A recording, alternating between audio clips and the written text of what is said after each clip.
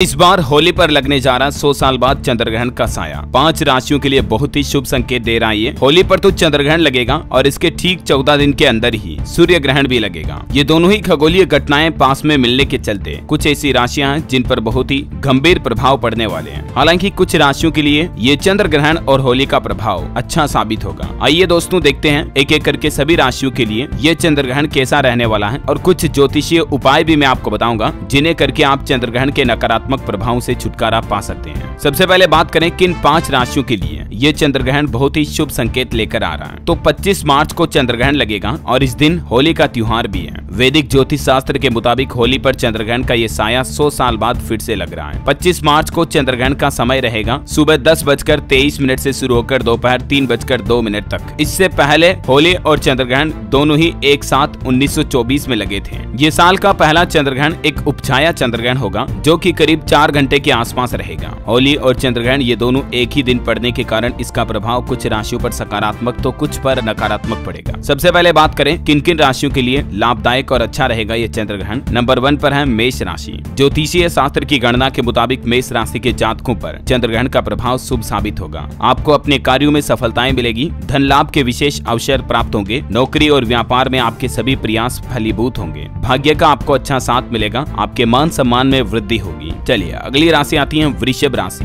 वृषभ राशि के जातकों के लिए भी चंद्रग्रहण अच्छा परिणाम देगा। धन में बढ़ोतरी के योग बन रहे हैं। आप जिस किसी भी काम को करेंगे, उसमें आपको सफलता ज़रूर मिलेगी। लेकिन जो जातक व्यापार से जुड़े हैं, उन्हें थोड़ा बहुत सावधान रहने की ज़रूरत है। आय के साधनों में बढ़ोतरी होगी, नौकरी में प्रमोशन मिलेगा और वेतन यानी आपकी तनख्वाह, सैलरी में भी बढ़ोतरी के योग दिख रहे हैं। अगली राशि आती है भाग्यशाली राशि, सिंह राशि। सिंह राशि के जातकों के लिए भी साल के पहले चंद्रग्रहण और होली का संयोग विशेष रूप से सुखदायक रहेगा। इससे आपका आत्मविश्वास बढ़ेगा मतलब आपके कॉन्फिडेंस में बढ़ोतरी होगी। परिवार में आपके लिए कुछ खास तरह का आयोजन हो सकता है। नौकरी और व्यापार के लिहाज से भी आने वाला समय आपके लिए अच्छा साबित होगा। कार्य क्षेत्र में आपको अपने अनुभवों का भरपूर लाभ भी मिलेगा। अगली राशि आती है धनु राशि। धनु राशि भी बहुत ही भाग्यशाली है। इस बार होली पर चंद्रग्रहण से धनु राशि के जातकों को बहुत ही लाभ मिलेगा। कार्यों में आपको अच्छी सफलताएँ मिलेगी। भाग्य में बढ़ोतरी होने से आपको हर एक काम में सफलता प्राप्त होगी। चाहे आप कोई नया काम की शुरुआत करोगे तो भी इस होली और चंद्रग्रहण के बाद आप उस काम में अवश्य सफल होंगे। नौकरी पेशा जातकों को नई नौकरी मिलने के अवसर दिख रहे हैं। भौतिक सुख सुविधाओं में भी बढ़ोतरी होगी। और अगली भाग्यशाली राशि है दोस्तों, मकर राशि। मकर राशि के जातकों के लिए भी ये साल का पहला चंद्रग्रहण सकारात्मक प्रभाव लेकर आ रहा है। धन लाभ के अच्छे योग बन रहे हैं। नौकरी में आपको अच्छे परिणाम की प्राप्ति होगी। मान सम्मान और आत्मविश्वास में बढ़ोतरी होगी। आपको अचानक से कहीं से धन लाभ भी हो सकता है। तो ये तो वो भाग्यशाली राशियाँ जिन पर चंद्रग्रहण का बहुत ही शुभ प्रभाव रहने वाला है। आइए एक एक करके सभी बारह राशियों को भी देख लेते हैं। कि कुछ राशियों का मन परेशान रह सकता है, कुछ राशियों को सावधान रहने की ज़रूरत है, और क्या क्या उपाय करने चाहिए किन राशि के जातकों को? क्योंकि दोस्तों, मैंने आपको बताया कि ये चंद्रग्रहण भारत में आंशिक रूप से दिखाई देगा। इस वजह से इसका सूतक काल तो मान्य नहीं होगा, लेकिन गोचर के हिसाब से मीन राशि में सूर्य और राहु और चंद्रमा की युति ये चंद्रग्रहण का निर्माण करेगी। आइए इस चंद्रग्रहण का बारह ही राशियों पर पड़ने वाला प्रभाव देखते हैं। मेष राशि, इनके लिए ये ग्रहण शुभ रहेगा। इस दिन जातक हनुमान चालीसा का पाठ करें तो और आपको लाभ मिलेगा, और चंद्रग्रहण के नकारात्मक प्रभाव से भी मुक्ति मिलेगी।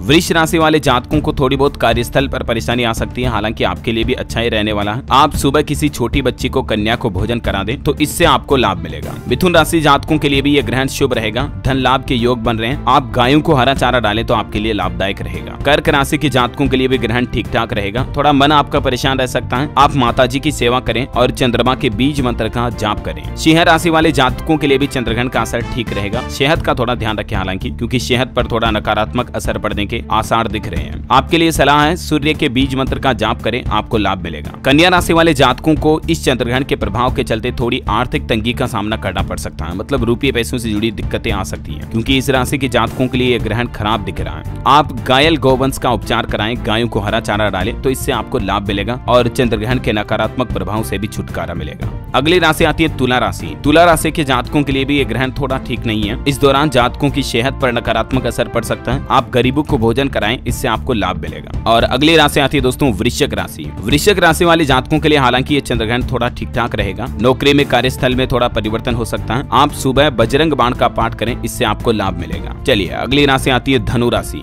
धनु राशि के जातकों के लिए इस सूर्य ग्रहण का प्रभाव ठीक नहीं रहेगा, क्योंकि सूर्य बृहस्पति के घर में विराजमान रहेंगे, अर्थात मीन राशि में। और धनु राशि के जातक गाय को भोजन कराएँ। बृहस्पति के बीज मंत्र का जाप करें तो आपको लाभ मिलेगा। चलिए, अगली राशि आती है मकर राशि। मकर राशि के जातकों को आर्थिक हानि उठानी पड़ सकती है और स्वास्थ्य को लेकर भी थोड़ी चिंता आ सकती है। आप सुबह सुबह सूर्य को जल अर्पित करें और चंद्रमा के बीज मंत्र का जाप करें तो लाभ मिलेगा। और अगली राशि आती है दोस्तों, कुंभ राशि। इस राशि के जातकों के लिए भी यह ग्रहण शुभ नहीं है। इस राशि के जातक गाड़ी थोड़ा धीमे चलाएँ। मित्रों अथवा रिश्तेदारों से बात करते समय वाणी पर संयम रखें। वरना बिना काम के लड़ाई झगड़े हो सकते हैं। किसी गरीब को आप जूते चप्पल दान करें, इससे आपको चंद्रग्रहण के नकारात्मक प्रभाव से मुक्ति मिलेगी। और अंतिम राशि आती है मीन राशि। मीन राशि के जातकों के लिए ग्रहण ठीक रहेगा। माता पिता की सेहत का थोड़ा ध्यान रखें और आप भी बृहस्पति के बीज मंत्र का जाप करें। गायों को भोजन अवश्य कराएँ, इससे आपको चंद्रग्रहण में लाभ मिलेगा। है ना तो दोस्तों, ये चंद्रग्रहण का राशियों पर प्रभाव आपको ज़रूर जानने मिला होगा। और भी ऐसी एस्ट्रोलॉजी जानकारियाँ राशिफल देखते रहने के लिए, आप हमारे चैनल डीएलएस न्यूज़ को सब्सक्राइब करके बेल आइकन दबा देना। क्यूँकी हमारे चैनल पर और भी डेली काम की खबरें, मुख्य समाचार, सरकारी योजनाओं की जानकारी, बड़े अपडेट भी आपको मिलते रहते हैं। बाकी इस वीडियो को लाइक और शेयर करना कमेंट बॉक्स में। जय चंद्र देवाय नमह ज़रूर लिख दीजिएगा। धन्यवाद दोस्तों।